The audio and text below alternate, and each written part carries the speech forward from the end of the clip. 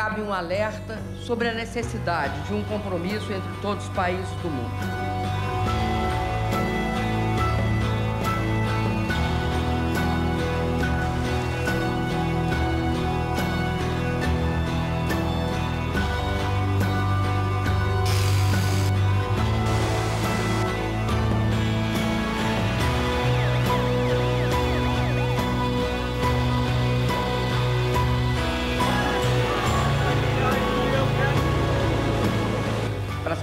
Populações da África, da Ásia, da América Latina, que não partilharam dos frutos do desenvolvimento, possam partilhar deles através de um processo de inclusão social, de ampliação de suas oportunidades.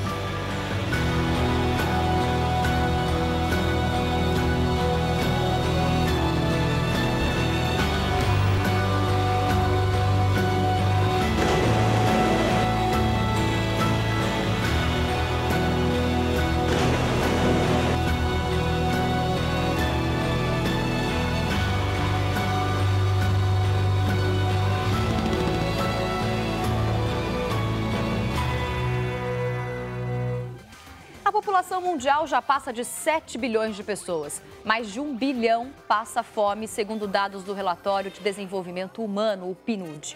Mesmo em países desenvolvidos, o crescimento econômico não eliminou a pobreza. Uma em cada sete pessoas estão em situação de vulnerabilidade na União Europeia e também nos Estados Unidos.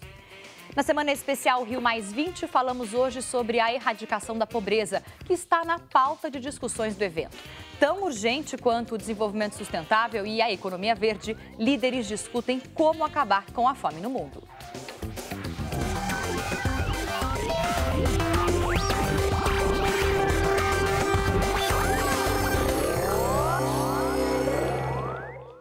Olá, muito boa tarde a você que acompanha o N-Blogs e acompanha também pela Record Internacional em vários países do mundo. Obrigada pela audiência.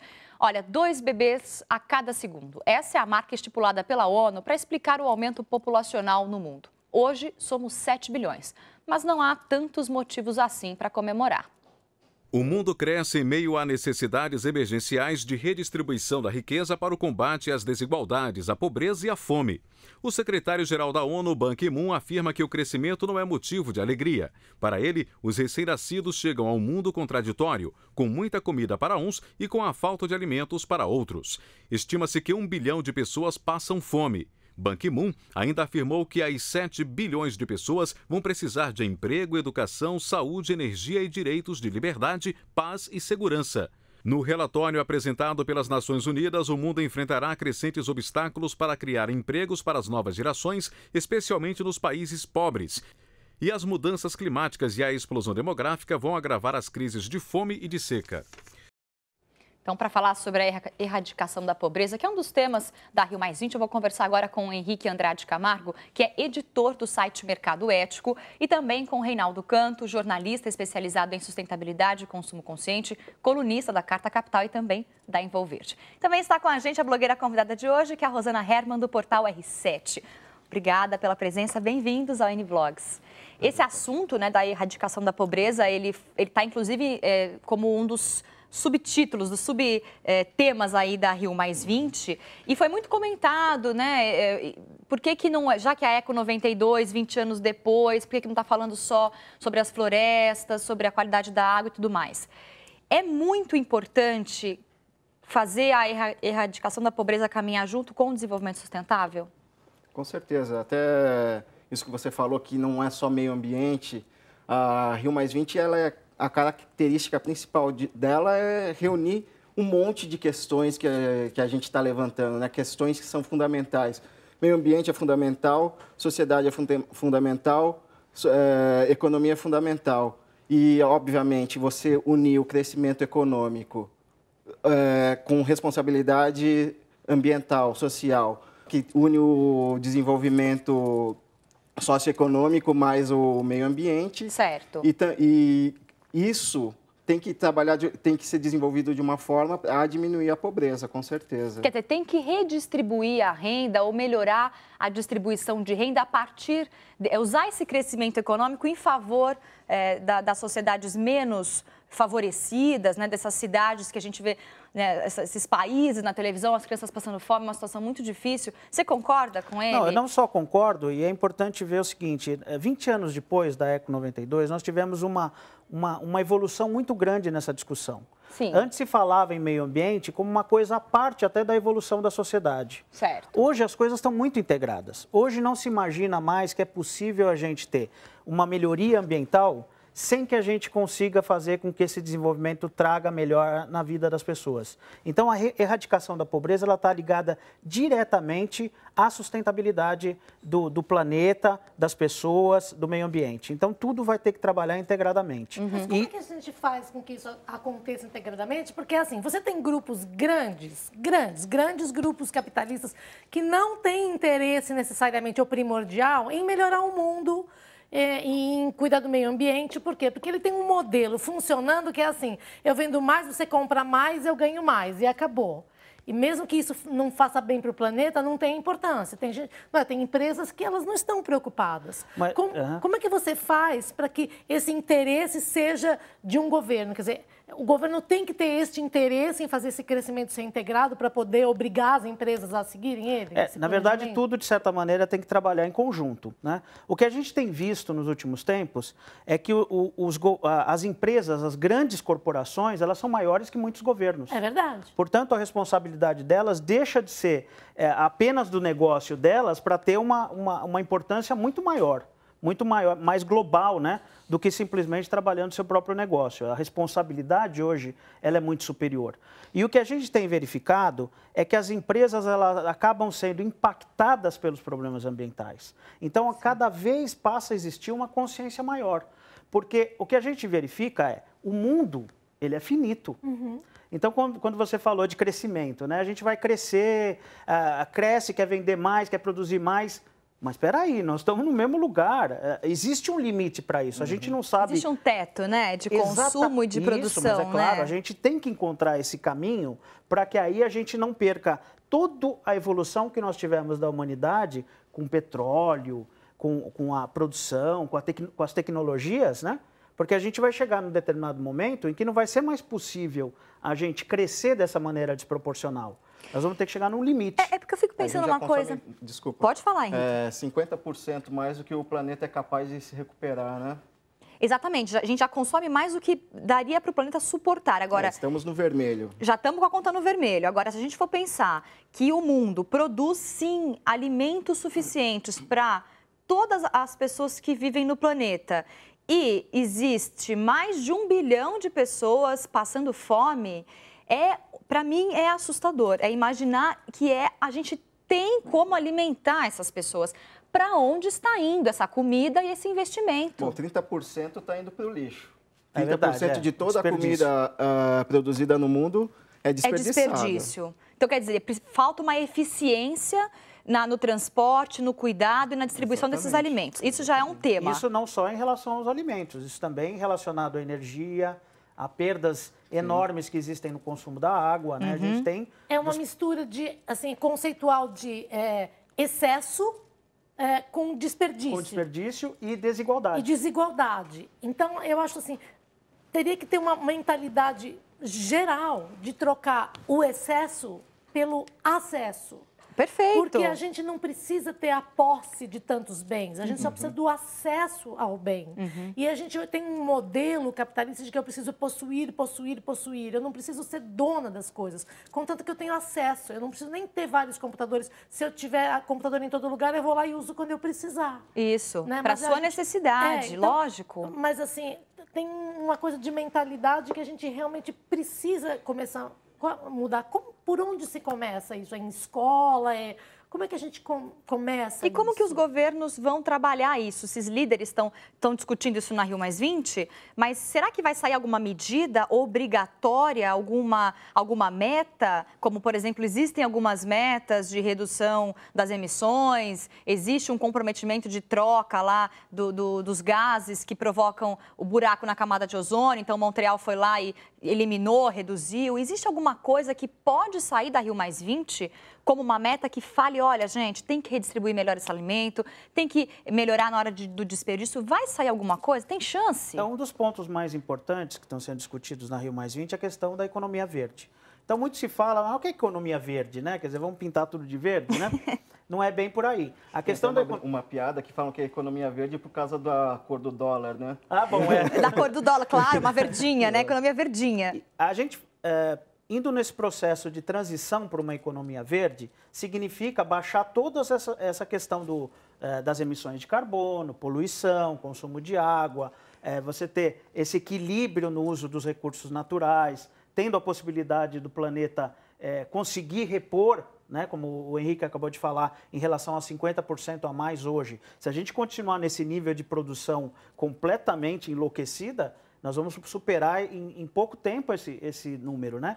E para fazer essa transição da economia verde, Fabiana, você citou a questão do, do, dos governos. Sim. É muito importante que seja consenso que os governos parem de subsidiar aquilo que não, não leva ao equilíbrio, não leva a, a, a uma economia que, que é, produza menos poluição e dê incentivo, né, efetivamente dê incentivo à produção que vá por esse caminho e que contribua para que haja essa erradicação da pobreza também. Eu fiquei imaginando o seguinte: será que. É, é, eu sei que já existem fundos de ajuda humanitária, então os países que têm mais condições, mais desenvolvidos, vão lá, depositam um valor que é destinado a, a pessoas com necessidades, principalmente América Latina, África, acho que tem alguma coisa na Ásia também. Uhum. Isso daí. É, é, eu fico imaginando assim uma coisa prática, né? Como que eu faço para diminuir a pobreza no mundo. Não dá para você ficar continuando vendo essas imagens, as pessoas não têm. Uma mãe que tem um monte de filhos, não consegue sustentar os filhos, isso, isso gera violência, isso gera um, é, é uma, uma bomba relógio mesmo. Né? E eu queria entender da onde é que vai sair uma solução, ou se isso é uma solução interna. O Brasil que cuide dos seus, os Estados Unidos que cuide dos seus, né? Essa não é a solução. Não é a solução. Você tem que partir de uma visão global o mundo inteiro tem que entender que todos nós estamos funcionando no mesmo lugar. Portanto, é complicado você pensar em fronteira. O meio ambiente não tem fronteira. Claro, se o cara né? polui nos Estados Unidos, não. o meu ar está ruim aqui no Brasil. O rio passa por diversos países. Uhum. Né? Então, Os mares, a água é a mesma. Mesma coisa. E, vai, e transita, né? É, vai transita, de um lugar para o outro. A poluição, se você tratar bem. O ar é. O ar, a mesma coisa. Mas até falam muito, né? Que as, é, eu ouvi falar várias vezes isso, que muitas guerras surgiriam em função da água. Sim. Né? As novas guerras surgem em função da água. Mas em determinadas situações, por exemplo, quando você tem um rio que passa por diversos países, se houver uma guerra, todos vão perder. Todos vão ser penalizados violentamente as suas populações. Então, se é a guerra, também pode ser a paz venha por meio da questão ambiental. Ia fazer uma pergunta sobre ética, porque é, a gente não está falando aqui da, da, perda pela corrupção, né? Porque tem muita corrupção Sim. em tudo. Até em ONG tem gente que desvia verba. Aí que entra até... a tal da governança, é. que também é ponto, mas você Sim. tem razão. É. A gente só precisa tomar cuidado quando fala de corrupção em ONG, senão por causa Generaliza, de meia dúzia, né? É. todas são penalizadas. Mas assim, a gente sabe que não só em ONGs, mas até em distribuição de alimentos e tem a gente Sim, sabe, claro, né? Isso acontece. Então, como é que a gente faz para trabalhar também essa consciência de que a corrupção é uma doença que, que, que atinge todos nós e que a gente precisa realmente acabar com a, com a corrupção, porque ela está ligada uhum. à geração de pobreza. Bom, a corrupção está aqui no Brasil há séculos, né? Ela desembarcou aqui com a família real e não foi embora. E, e a gente tem, tem é, uma, é, uma, é, um problema cultural que é, a gente tem que trabalhar com a educação. Você tem que trabalhar nas bases. Uhum. Educação, cidadania e fundamentalmente transparência. Uhum. Se nós vivemos numa democracia, todas essas coisas têm que estar abertas, porque aí dificulta também a possibilidade de, de a corrupção é, ter um caminho aberto, né, uhum. é, que possa progredir. Eu acho que a transparência é fundamental também. E olha, gente, a ONU declarou o fim da fome crônica na Somália, mas mesmo assim a situação no país ainda é preocupante. Dá uma olhada. Uma colheita excepcional e entregas de alimentos por parte de agências de ajuda acabaram com a fome crônica na Somália. Mas as condições ainda são frágeis e podem piorar. De acordo com o diretor-geral de Alimentação e Agricultura, José Graziano, em menos de 100 dias a fome pode atingir novamente a região. A situação de fome crônica foi declarada pela ONU nas primeiras regiões do sul da Somália em julho do ano passado. Dados da organização apontam que, inicialmente, 750 mil somalis sofriam diante da fome iminente. Em novembro, o número baixou para 250 mil. O número de somalis que precisavam de ajuda de emergência caiu de 4 milhões para pouco mais de 2 milhões. A Agência de Cooperação Britânica estima que um número entre 50 mil e 100 mil pessoas tenham morrido entre abril e agosto do ano passado. Mais da metade, crianças menores de 5 anos. É uma situação que é totalmente terrível, né? Você vê uma imagem dessas, ter um dado desse e saber que no Brasil existem muitas pessoas passando fome e com uma situação muito difícil de vida ainda. Como que está no Brasil essa situação de tentar diminuir a pobreza, né? Ajudar essas famílias mais carentes a ter uma condição de vida melhor? A gente vem evoluindo? Ou ainda não está? Ah, as, próprias, as próprias estatísticas têm uhum. mostrado uhum. né, que houve uma, uma migração das classes E e D para a classe C, que foram muito, muito importantes, né? Mas o que para a sustentabilidade tem se mostrado... Não, para a sustentabilidade é... Um pouco, um pouco ruim, porque aumentou a renda do brasileiro, mas a preocupação dele com sustentabilidade vem diminuindo, talvez em igual proporção. Porque é aquilo é... Ao aumentou... consumo, né? Que vem sendo... É, o consumo... Chegou a minha vez de gastar, sim, sim. de comprar. Uhum. E essa evolução se deu pela questão do consumo... Uhum e ela não se deu no sentido da cidadania e dessas pessoas adquirirem a, a qualidade de vida, porque consumir não, tá, não é necessariamente qualidade de vida. Sim. A pessoa ela pode comprar o carro, como ocorre nas grandes metrópoles brasileiras, não é só São Paulo, aliás, nem só nas grandes metrópoles, as cidades médias, por exemplo, do estado de São Paulo, elas já sofrem a consequência do trânsito, né? Então, o, importante na, nessa qualidade não é a pessoa ter um automóvel, mas sim ela ter uma mobilidade que lhe garanta segurança, comodidade e rapidez. Certo. Assim como às vezes você ter dinheiro para comprar. A gente vê porque assim você pega a sua história de família e você pensa assim, as pessoas que vão saindo da pobreza vão melhorando, em geral você na alimentação piora, você come mais porcaria e você uhum. deixa de ser pobre e comer pouco e você passa a ser um pouco mais rico e comer mal porque você come muita gordura e fica com diabetes e obeso. É, o obeso desnutrido. É, obeso desnutrido. Isso existe, né? Isso é uma, um, são estatísticas. Então você não está melhorando a qualidade de vida como você está falando, né? Você está só consumindo mais e mais errado. Isso. Então é, você tem que ter um, um preparo até para você é, consumir bem e melhor. Isso né? também está ligado com a educação e com essa, com essa, entrar dentro da gente a preocupação com o consumo consciente. Isso também é algo que é, que é difícil de você falar quando você, né, é que você falou, você olha para tua família lá atrás e você, o, o, seu avô não tinha condições, o seu pai batalhou muito para conseguir um carro e agora você estudou, fez faculdade, começou a ganhar um pouco mais de dinheiro e você quer aquele carrão uhum. ou quer, enfim, é, usar esse dinheiro para fazer duas, três viagens por ano de avião. Esse tipo de coisa, é, por um lado, assim, pô, por que, que ele não tem direito de fazer? Mas entender que isso faz parte de um pacote onde está todo mundo dentro. Né? Não dá para todo mundo fazer desse jeito. Né? Essa é uma questão que vai ser resolvida quando? A gente vai precisar se acabar para conseguir prestar atenção nisso? Ou dá tempo? Talvez, viu? Espero que não, né? espero que não, mas há algum risco disso acontecer.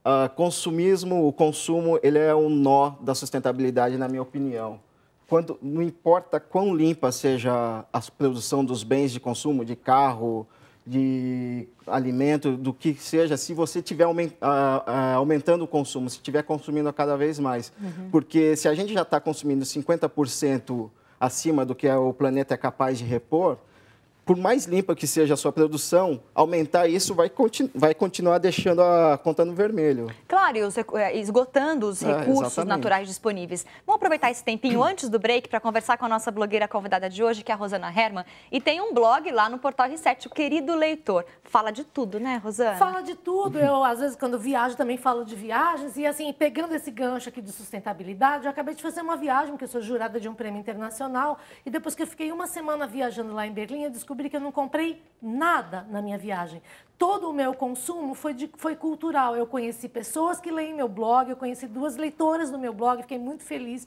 de conhecer. Lá em Berlim? Em Berlim. Elas brasileiras? Moram, brasileiras Bra que, que legal. lá e leem um blog. Fiquei e o legal muito de internet feliz. é isso, né? Exatamente. A Lígia e a Juliana, fiquei que muito legal. feliz. Eu fui jantar com elas, eu fui visitar um museu com uma, fui fazer um outro passeio com elas. E quando eu cheguei em, em São Paulo, minha mala estava vazia, eu só tenho umas lembrancinhas, eu falei, eu não comprei nada. Por quê? Porque eu não precisava comprar nada.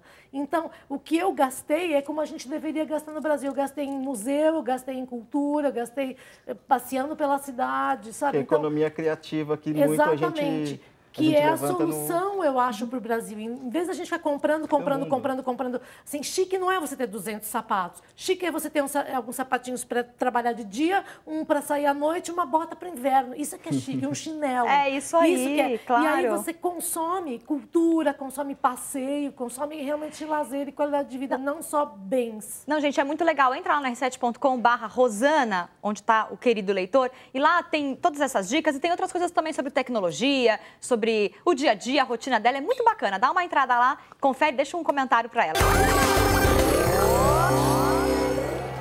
O N-Block está de volta na semana especial Rio Mais 20, falando hoje sobre a erradicação da pobreza, conversando com Henrique Andrade Camargo, que é editor do site Mercado Ético. Também está com a gente Reinaldo Canto, jornalista especializado em sustentabilidade e consumo consciente. Ele escreve na Carta Capital e na Envolverde. E também está com a gente a blogueira convidada de hoje, que é a Rosana Herman, do portal R7.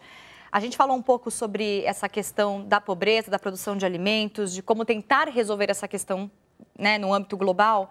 E eu fico pensando se a economia verde, como a economia verde, que é essa proposta também da Rio Mais 20, desse debate, pode ajudar a diminuir as desigualdades ou melhorar a qualidade de vida das pessoas, hein, Henrique? Bom, um dos pontos da economia verde é justamente a produção com, com carbono baixo, né, baixa emissão de carbono. E você desenvolver novas tecnologias já gera um, uma porção de emprego aí. Por exemplo, lá no Nordeste, que dizem que tem o potencial de uma Itaipu de vento. Se em você... relação à eólica, a produção de energia elétrica você por faz eólica. uma eólica com a mesma capacidade que tem Itaipu. Uhum. Então você cria, você deixa as pessoas lá no local, você dá emprego para todo mundo, distribui renda para uma região que já, já onde a desigualdade é grande, não é? Onde tem processo de desertificação, né? O Brasil tem um alto nível ali naquela região nordestina de desertificação ao longo do, da década de 70 para cá piorou bastante, então pode ser uma oportunidade, talvez, de um novo negócio. É nesse sentido, né? Novos negócios em, em situações onde a gente não imaginava, onde tem, costuma ter migração de população. Quer dizer, os caras ficariam ali com a tecnologia que está sendo aplicada ali, recebendo por aquele trabalho, sem precisar necessariamente sair de onde ele está. Né? Isso daí é uh, o futuro ou ainda existe uma dificuldade para olhar para isso? Ou, ou falta, falta dinheiro para investir em tecnologias novas? Eu acredito que falta um incentivo. Por isso que eu falei no, no começo em relação aos governos, a uhum. importância que eles têm em dirigir os seus investimentos para as atividades que vão trazer essa melhora na vida das pessoas, né? E ao mesmo tempo reduzir as emissões de carbono, a poluição que atinge toda a sociedade. Uhum. Uma coisa que é muito importante, você sabe quantos catadores nós temos no Brasil? Em torno de quantos? Números, não tenho a menor ideia. Mais de um milhão de pessoas trabalham. Uma Olha. parte pequena estão organizados em cooperativas, né? Mas muitas pessoas dessas, né, elas têm um nível social muito baixo, né? E fazem um trabalho extraordinário, porque é recuperar materiais que poderiam estar sendo é, reutilizados, né, retrabalhados, reciclados, né? Sim.